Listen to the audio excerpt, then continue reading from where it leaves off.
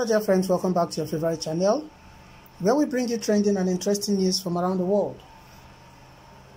May I quickly encourage you to please subscribe to this channel if you are yet to subscribe. Kindly hit the bell icon so you can get notification whenever we post new stories. Endeavor to share these news stories with your friends, family, relations, and loved ones so they can get to know what is happening around the world and be informed. Thank you so much, guys. I appreciate your support. Stakeholders and professionals from the Igbo and Yoruba nationalities have scheduled to meet on January 15 to discuss the way forward regarding Nigerians' myriad of social economic challenges.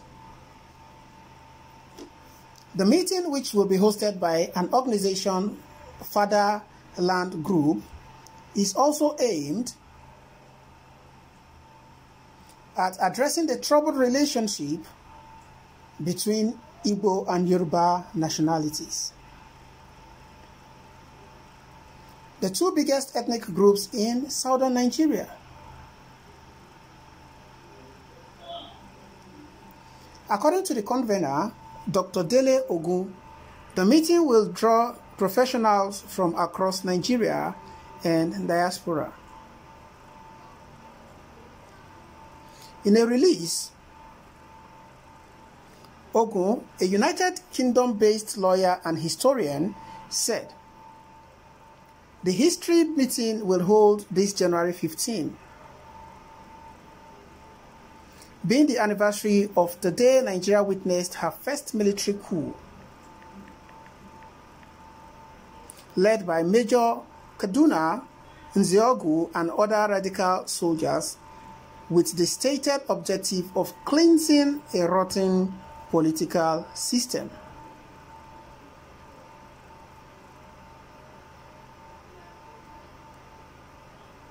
The coup went awry after being hijacked by re reactionary soldiers. As events, an event that led to the counter coup of 29 May 1966. Political instability and then a civil war that lasted for 30 months. The war and its aftermath continue to dominate bitter debates between Igbo and Yoruba people with each trading blame.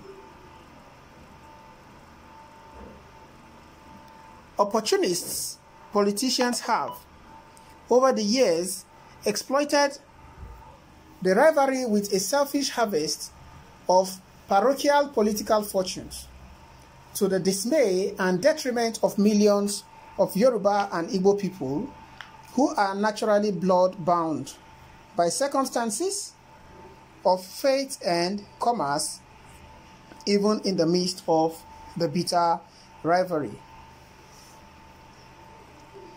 The theme of the January event is tagged Yoruba and Igbo speaking with one voice from a shared experience. We tie to Biafra. The summit is intended to find a common ground in the space, uh, in the face of mounting common challenges occasioned by instability and existential threats to the lives of millions of Nigerians. This will be a step towards building a new constructive relationship between generations of Igbo and Yoruba people who have been divided by hostile narratives, which have sown seeds of discord since the beginning of the campaign for Nigerian independence, in which the two great civilizations played the leading roles, but in which both have been poorly served. The process of reconciliation is to be aided by Dr. Biki S. V. Minyuku, who was the chief executive of the South African Truth and Reconciliation Commission, headed by Bishop Desmond Tutu. The conference will be chaired by Joe Williams.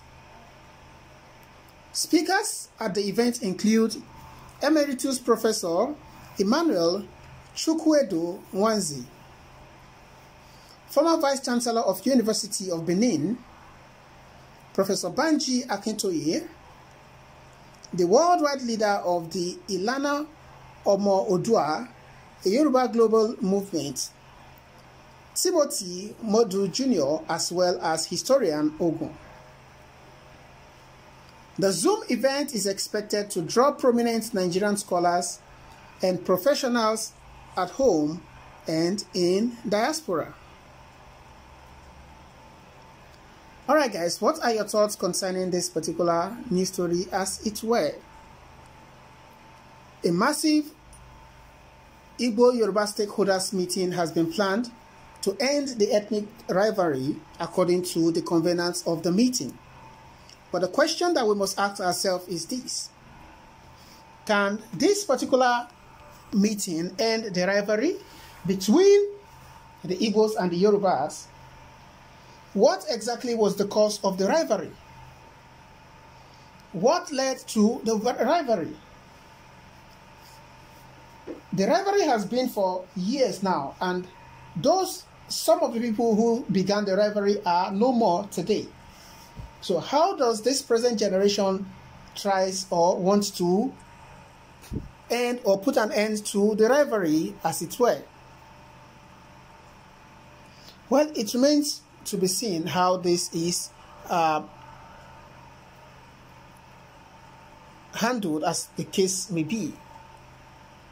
Don't forget that the Eastern people, the Igbos are to a very large extent, let's not say all of them, but majority of them are in favor of secession from Nigeria and uh, they are in favor of the Biafran Republic.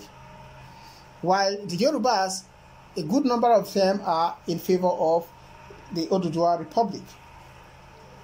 But however, this coming together by this uh, group to uh, plan this meeting or this powerful stakeholders meeting, as it were, it probably might just be signaling the coming together of the Igbo and the Yoruba to synergize together to agitate for uh, the referendum that the Southeast has been calling for. Well, I stand to be corrected if I am wrong, but that is what I think might probably be the way forward or what this uh, coming together will end up, you know, profiteering in the long run. But however, let's not preempt this group or organization and the, the meeting as it were. We keep our fingers crossed to see how things unfold. Well, no one can deny the uh, rivalry between the Igbos and the Yorubas. And how it has affected a lot of things, both economically, socially, or religiously, and otherwise. But if those who are to attend the meeting reach an agreement, will that same agreement be, will others be bounded be binded by this agreement is a question.